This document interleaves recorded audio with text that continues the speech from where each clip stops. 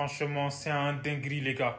Les Merengues viennent de littéralement fracasser Celta Vigo 4-0. C'est incroyable, en fait. Donc voilà, quoi. Arda Güler, il a marqué son premier but avec le Real. Donc voilà, comme je trouve que, je sais pas, c'est peut-être euh, le début d'une belle histoire. Donc voilà, euh, la il y avait un penalty.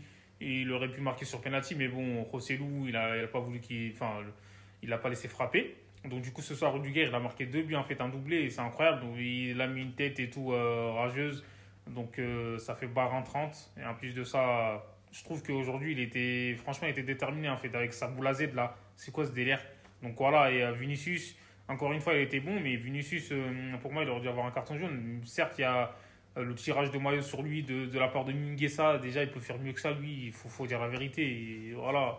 Et il a riposté derrière, moi, je trouve. Donc voilà, il faut qu'il arrive à se canaliser. Mais sinon, c'est un match qui était maîtrisé en fait de A à Z par le Real Madrid. Donc euh, il mérite de gagner, il n'y a rien à dire. Donc voilà quoi. C'est à Vigo, je ne vais pas dire qu'ils n'ont pas existé, mais ils ont eu des, des tirs, mais ils n'ont pas su trouver le cadre. Ils ont cadré qu'une fois en 10 tentatives. Donc voilà quoi.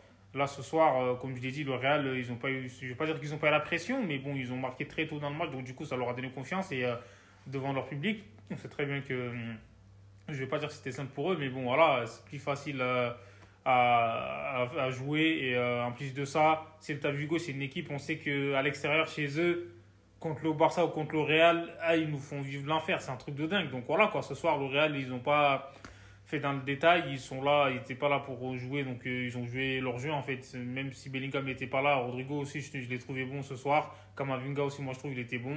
Donc euh, Brahim Diaz aussi, je trouve. Donc euh, le Real Madrid ce soir, comme je l'ai dit, ils ont plié le match et tout, il n'y a rien à dire. Et même euh, il y a eu un CSC qui a été provoqué par Vinicius sur son centre et tout. Donc voilà. Et euh, Arda Güler, comme je l'ai dit, marque son premier but.